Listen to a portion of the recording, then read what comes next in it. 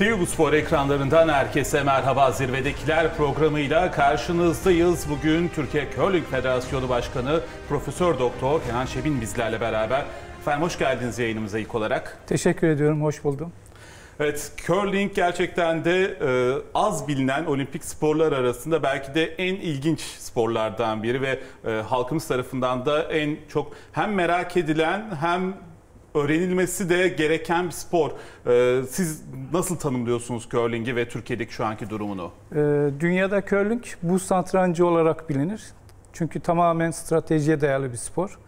Ee, birinci taştan tutun 16. taşa kadar e, stratejinin dolu dolu olduğu bir e, sonuç alma sporu.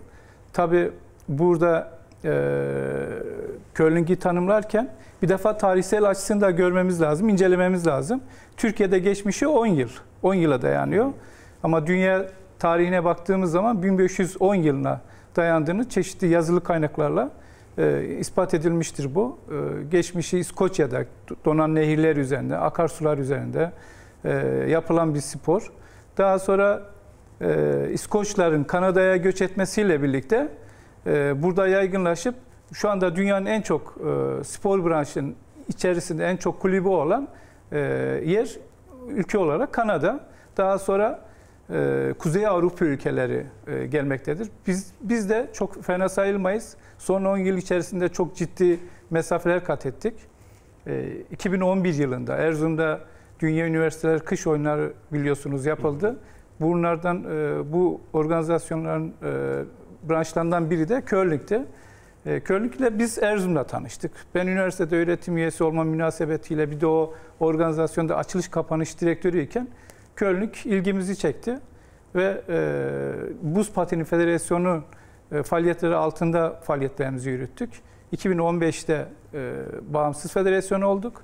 E, 2016'da özelleşerek e, faaliyetlerimizi yürütmekteyiz. Başarımızı soracak olursanız biz e, geçen yıl kızlarımız Avrupa'da ilk ona girdi. Bu çok önemli bir şey. İlk 10 bizim için curling e, sporu için çok önemli. Neden? Çünkü curling'de en başarılı olan ülkeler Kuzey Avrupa ülkeleri. E, biz de bu kıtada yarıştığımız için bu spor branşlarında işimiz çok zordu. Kızlarımız e, C'den B'ye, B'den A'ya çıktılar. Bu sene inşallah e, A grubunda mücadele edeceğiz. A grubunda e, kan, e, İskoçya'dan tutun İsveç'e, İsviçre'ye çok önemli e, rakiplerimiz var. Burada inşallah kalıcı olmaya çalışacağız. Curling'i dediğiniz gibi e, hem mental olarak, zihinsel olarak yapılan bölüm var hem de bedensel olarak yapılan bölüm var ve aynı zamanda bir takım sporu. Evet. Yani ne sadece atıcıya bağlı ne de e, diğer sporculara bağlı hep beraber yapılması gereken bir spor. Bu anlamıyla da diğer sporlardan biraz daha fazla ayrılıyor sanki. Kesinlikle birinci sporcudan e, tutun, kaptan son sporcudur, dördüncü sporcudur. Takım sporları için söylüyorum. Bir de çiftler ve karışık çiftler müsabakaları var. E, her sporcunun attığı taş bir defa çok önemli ve burada e, müsabakayı antrenör yönetmez. Hiçbir zaman bizim branşımızda antrenörün e, göz teması dahi kurması yasaktır. E, etik kuralları dışındadır. E, fair play kuralları dışındadır. Asla kabul edilmez. Zaten herkes dünyada bu kurala riayet eder, uyar. Çünkü fair play'in zirve yaptığı bir spor branşı burada. Tamamen takım kaptanın yönlendirmesiyle bütün stratejiler oynanıyor, uygulanmaya çalışılıyor. Dediğim gibi yani hem kendi stratejinizi oluştururken bir de rakibin uyguladığı stratejiye karşı yeni bir strateji uygulamak zorundasınız. Süpürme olayı çok önemli. Belki İsterseniz onu bir açıklayın. Çünkü curling ile ilgili en fazla sorulan soru. Evet. Niye süpürüyorlar? Süpürmek ne işe yarıyor? Şimdi süpürmenin e, gayesi sürtünme kas sayısını azaltmak, e, taşın daha hızlı gitmesini sağlamak ve ta, giden taşa yön vermek. Taş dediğimiz granit, suya doymuş granitten oluşuyor. E, bu İskoçya'nın bir adasından çıkarılıp tek e, üretim yeri orası. E, onu da yeri geldiğinde söyleyeceğim. Artık biz de üretiyoruz evet. o taşı. E, bu taş 20 kiloya yakın bir ağırlığı var. Yani e, 40 metreye yakın bir mesafede atmak çok kolay değil o taşı. Ama alt, bizim e, buzun üzerinde yapılmış olan bazı işlemler var. E, sıcak su püskürtülüyor burada 3 aşamalı olarak. Tekrar kesiliyor, tekrar püskürtülüyor o pütür pütür oluyor buzumuz. E, düz buzdan ziyade pütür buz olduğu için o taş çok kolaylıkla ilkokul çocuklarımız e, tarafından dahil atılabilecek özellik e, taşıyor. E, burada taşın atılması çok efor sarf ettirmiyor. Aslında en çok güç kaybının olduğu yer süpürme olayıdır. Çok orada sporcular bayağı bir süpürürler çünkü taşın atış hızı vardır. E, kaptanlarda, sporcularda kronometre vardır. Hot dediğimiz çizgi vardır. O çizgiyi çıkış noktası olarak hesaplanır. Takozla o çizgi arasındaki mesafe taşın nereye gideceğini e, sporcular hesaplayabiliyor. Ona göre çok fazla süpürüp veya az fazla süpürme kararına o alınan zamana göre e, karar veriliyor. Dolayısıyla süpürme gerçekten çok zor. Bazen hatta e, iki kişi, iki sporcu birden süpürüyor. Bazen üç sporcu birden süpürüyor.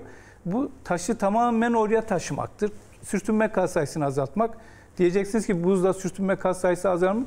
Buzda daha çok oluyor. Çünkü öyle sporcular var ki dünyada bu o taşı yani bir metreye kadar süpürerek götürebiliyorlar. Yani katkıları olabiliyor. Halbuki milimetrik santimlerin hesap yapıldığı bir spor branşı bu. Dolayısıyla süpürme çok önemli. Süpüren sporcuların çok kuvvetli olması lazım. Ki sadece kendi taşını değil tabii ki orada vurduğu zaman diğer taşı Tabii. merkezden uzaklaştırmak için de onu Evet, yapıyorlar. aynen. Rakip taşını dışarı atmak için de e, bir işlem yapılıyor burada. Ki e, şunu da söyleyebiliriz herhalde. Aynı zamanda işin içerisine az önce dediğiniz gibi matematik girdiği gibi fizik de Evet. giriyor. E, Bizim hani lisede gördüğümüz o vektörler ve çarpıştığında ne, ne kaç açıyla gider, nereye gider. Kesinlikle. Bunların hepsini hesapla, hesaplanması gerekiyor. Kesinlikle tamamen programlarımız var. Dünya ile entegre olduk biz. Bütün antrenörlerimizde bu programlar e, bulunmaktadır. Tamamen e, uygulayacaklar stratejileri bu programlar sayesinde uyguluyor.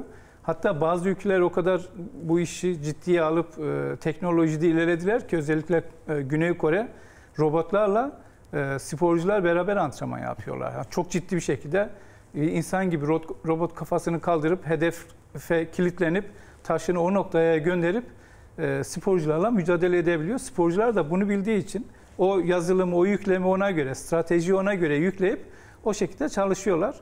E, tabii biz çok kısa zamanda bu seviyeye geldik. Yani dünyada biz 5. olduğumuz müsabakalar var. 12. olduğumuz müsabakalar var. E, ama genel sıralama, sıralama itibar, itibariyle e, biz şu an e, ilk 20'deyiz. Ama ilk 20'de olmamızın bazı şeyleri var, sonuçları var. E, diyelim İsveç 100 yıldır bu sporu yapıyor. Topladığı puanla ikinci sırada. Ama biz 10 yıldır topladığımız puanlarla bu sıralamadayız. Yani her yıl puanlar sıfırlanmıyor. Yıllardır e, topladıkları puanlar sayesinde dünya sıralaması oluyor. Ama eminim ki biz e, olimpiyatlar noktasında gidebilirsek 2022'ye e, çok başarılı olacağız.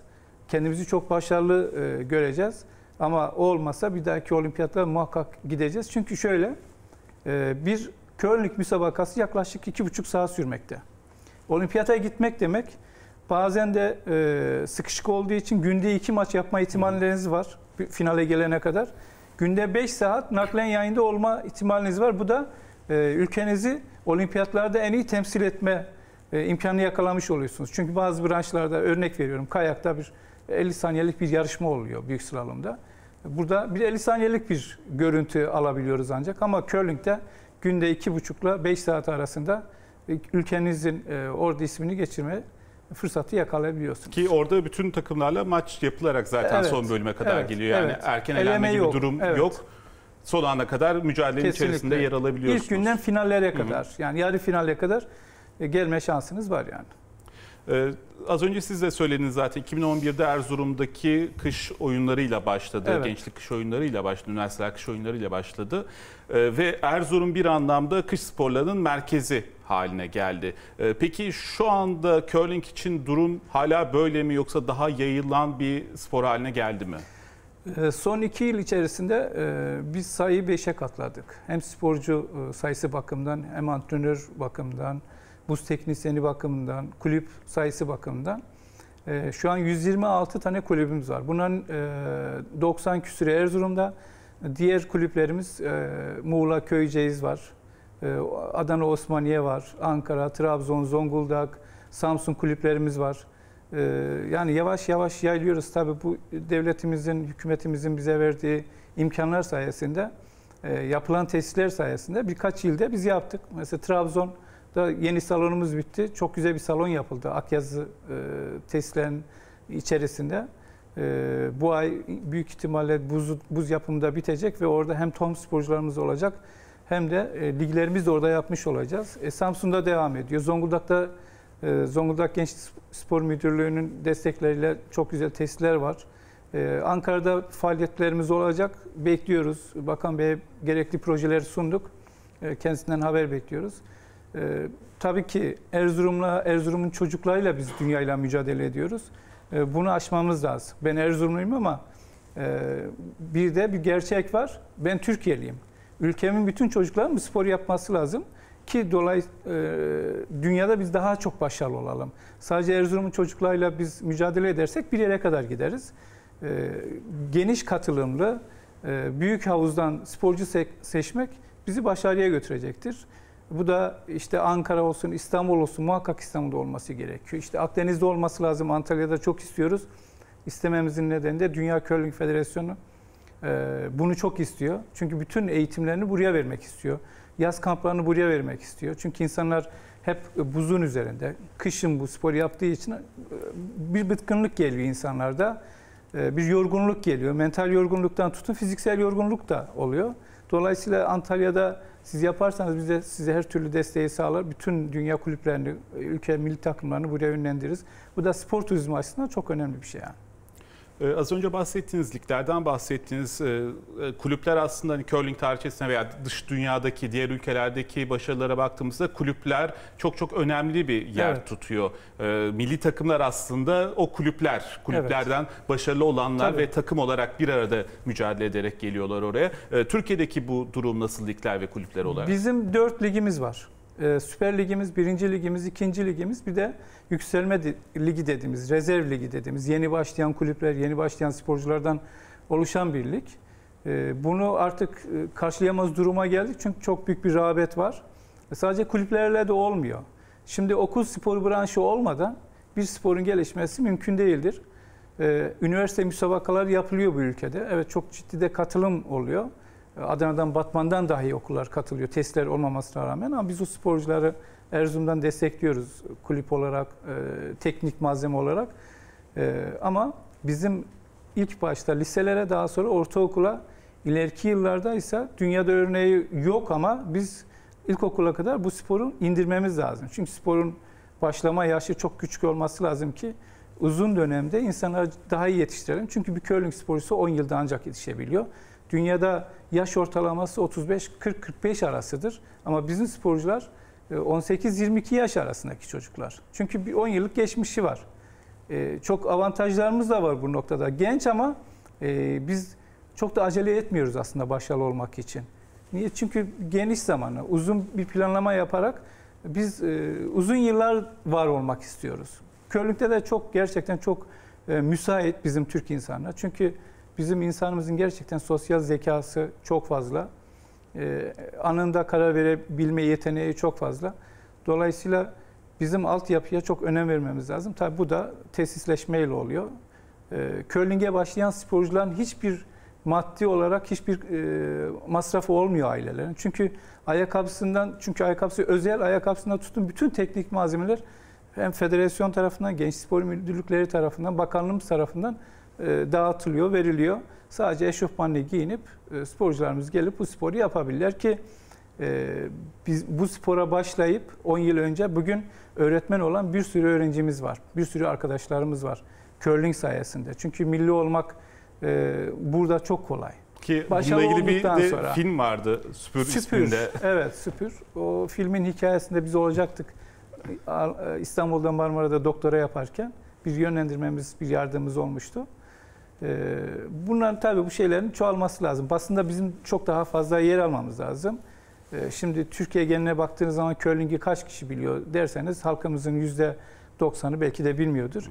Ama bunu yavaş yavaş insanlara anlatmamız lazım bizim e, bir şekilde. E, Bu yeri gelmişken de bu tanıtım noktasında siz bize yer verdiğiniz için sizlere çok teşekkür teşekkür ediyorum. E, Bu çok önemli bir şey.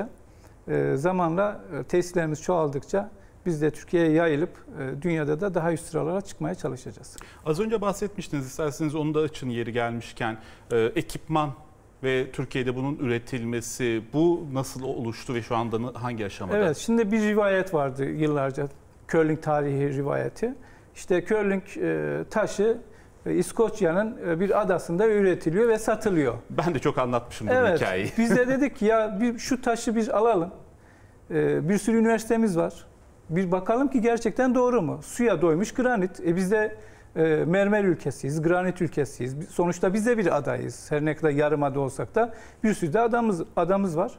E, araştırdık. E, pahalı bir taştı. 3500 dolar olan bir taşı paramparça ettik üniversitelerde, laboratuvarlarda.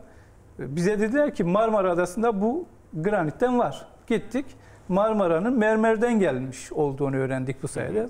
Sonra mermerciler bize dedi ki siz bunu gidip Giresun'da bulabilirsiniz. Giresun'da aynı özelliklerde biz bu madeni bulduk. Suya doymuş graniti bulduk. Ve taş başta olmak üzere şu anda ayakkabısından süpürgesine varana kadar bütün malzemeleri biz Türkiye'de üretmeye başladık. Şu an iki yıldır biz hiç yurt dışında malzeme almıyoruz. Bütün makinasından, buz kesme makinasından tutun. Sadece teflonu alıyoruz. Teflon da ham maddesi. Ayakkabının bir altın kaygan olması lazım. Ee, Bunu da devletimizin cebinden 5 kuruş çıkmadan yaptık. Bir iş adamı bunu üstlendi. Hem e, uluslararası arenada açılmayı düşünüyor. Fuarlara katıldı birkaç ülkeye. Birkaç talep de var e, yakın ülkelerden. Çok da başarılı oldu taşımız. E, patentini de aldı arkadaşımız. Yani istendiği zaman e, spor malzemeleri noktasında ülkede de her şey üretilebilir. Ee, sanırım az önce yayından önce de zaten konuşmuştuk.